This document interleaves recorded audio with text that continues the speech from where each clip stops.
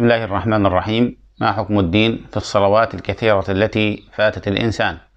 فمثلا إنسان يقول منذ فترة البلوغ إلى فترة الجامعة وأنا لا أصلي. أو يقول إنسان تركت الصلاة من سن الخامسة والعشرين إلى سن الأربعين.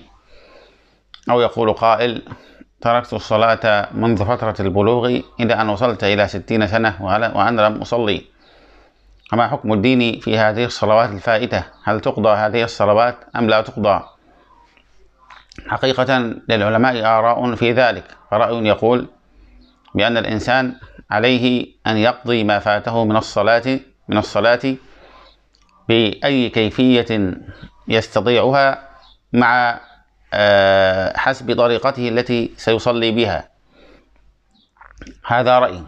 أن الإنسان عليه أن يقضي ما فاته من الصلاة بأي كيفية يستطيعها بالعدد الذي تركه على حسب ما يستطيع. إن صلى إن أراد أن يصلي صلاة مع صلاة جاز ذلك. إن أراد أن يصلي مجموعة من الصلوات في, وقت الضحى أو في وقت الليل أو في غيره.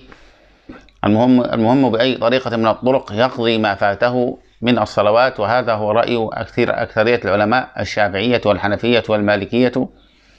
وقول عن الإمام أحمد رأي آخر أن الإنسان ليس عليه أن يقضي ما فاته من الصلوات ولكن عليه التوبة والندم والاستغفار والإكثار من آه، صلاة النوافل.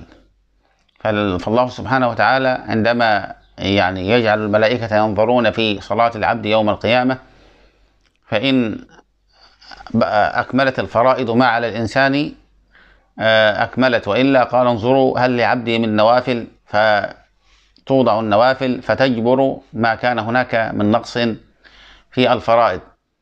ففي المسألة رأيان الرأي الأول أن أنه يجب على الإنسان أن يقضي ما فاته من الصلوات. فيقول قائل أنا لا أعلم أنا لا أعلم ما هو الوقت الذي تركت فيه الصلاة. نقول له بالظن والترجيح على حسب ما يأتي في ذهنك. أنت تعتقد أنك تركت الصلاة عشر سنين؟ صلي آه، صلاة عشر سنين. وهكذا بالكيفية التي تستطيعها مع التوبة والندم إلى الله سبحانه وتعالى. الرأي الآخر يقول أنه ليس على الإنسان أن يقضي ما فاته من الصلوات ولكن عليه أن يندم وأن يستغفر وأن يكثر من صلاة النوافل. هذا هو حاصل رأي العلماء في المسألة. أسأل الله أن يوفقنا وإياكم لما يحبه ويرضاه. والسلام عليكم ورحمة الله وبركاته.